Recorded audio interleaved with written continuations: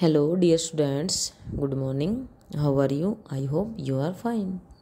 Okay हमने कल modern English standard first का थर्ड लेसन पढ़ा था the lion and the mouse शेर और एक चूहा। इसके बारे में हमने ये स्टोरी पढ़ी थी। हमने पूरी नहीं पढ़ी थी, हमने यहाँ तक पढ़ी थी।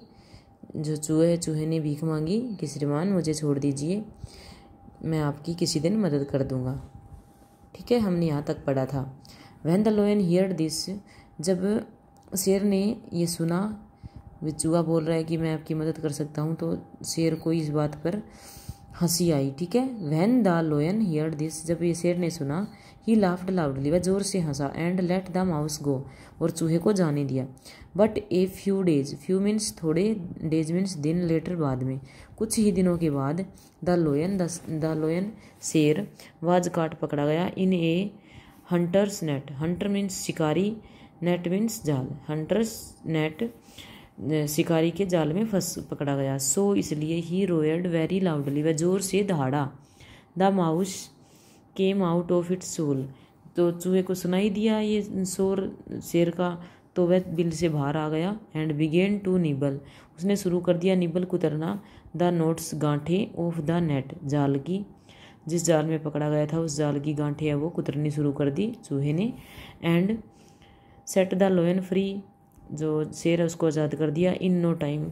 मतलब बिना टाइम लगाए, बिना समय लगाए, कुछ ही टाइम में शेर को आज़ाद कर दिया। The lion thanked.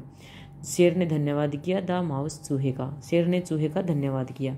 ठीक है, कल हमने जो ये लेसन इतना पढ़ा था यहाँ तक, इसके वर्ड मीनिंग किए थे, आज हम यहाँ से और यहाँ तक हमने लेसन पूरा कर लिया। इसके आज वर्ड मीनिंग करेंगे। ठीक है? लक लक मीन्स भाग्य डिजिटनी भाग्य रोयर धाड़ना आउट ऑफ़ आउटरी ऑफ़ लाइन लोयन निबल कुतरना टू कट बाई टिथ दांतों से कुतरना, ठीक है?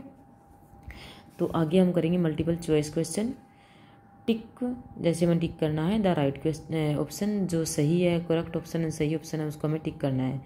The lion was sleeping under a ये हमने पढ़ा था स्टोरी में। द लोयन है the lion was sleeping under a tree तो हम ट्री को टिक कर देंगे, हमने ट्री को टिक कर दिया। The lion lion began to laugh जो शेर है उसको हँसी आई बिगेन टू लाफ किस बात पे? चूहे की बात पे। जब चूहे ने ये बोला था कि श्रीमान मुझे छोड़ दीजिए मैं आपकी किसी दिन सहायता कर दूँगा। इस बात पर शेर को हँसी आई थी चूहे की बात पर। तो हमने माउस को टिक कर दिया। The lion was very powerful वो बहुत शक्तिशाली था। पावरफुल को हमने टिक कर दिया। ठीक है? आज लो, आप लोगों को वर्ड मीनिंग और ये मल्टीपल चॉइस क्वेश्चन ही होमवर्क में करनी है। और ये पूरा लेसन आपको रीड करना है दो तीन बार और रिवाइज करना है और वर्ड मीनिंग लर्न करनी है। Okay thank you have a nice day बच्चों.